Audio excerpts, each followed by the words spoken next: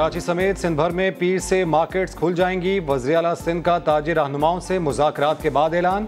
कहा, कल से सुबह छह बजे से शाम पाँच बजे तक दुकानें खुलेंगी, लेकिन एस ओ पीज पर अमल करना होगा। शॉपिंग मॉल्स, बड़े डिपार्टमेंटल स्टोर्स नहीं खुलेंगे।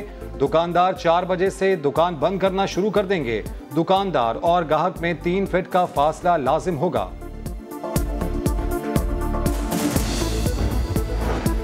सरकारी टेस्ट मस्बत निजी लेबॉर्ट्री से टेस्ट मनफी। सिंध में सरकारी टेस्ट रिज़ल्ट पर कई सवाल उठ गए। सरकारी टेस्ट कराने पर दो अरकान सिंध असम्बली का टेस्ट मस्बत आया। अगले रोज निजी लेबॉर्ट्री से टेस्ट कराने पर कोरोना टेस्ट मनफी आ गया।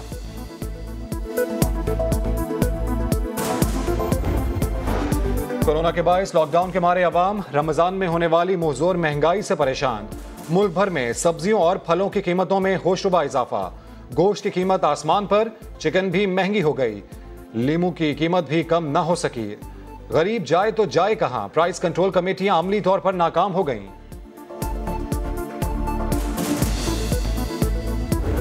मैं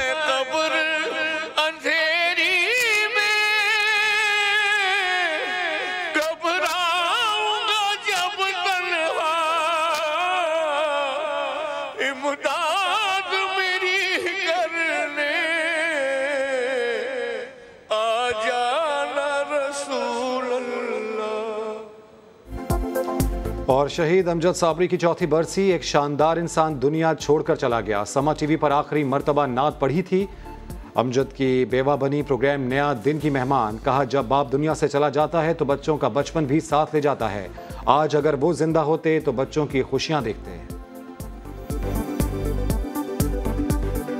माशाल्लाह, तीनों में अलग अलग किस्म की क्वालिटीज़ हैं।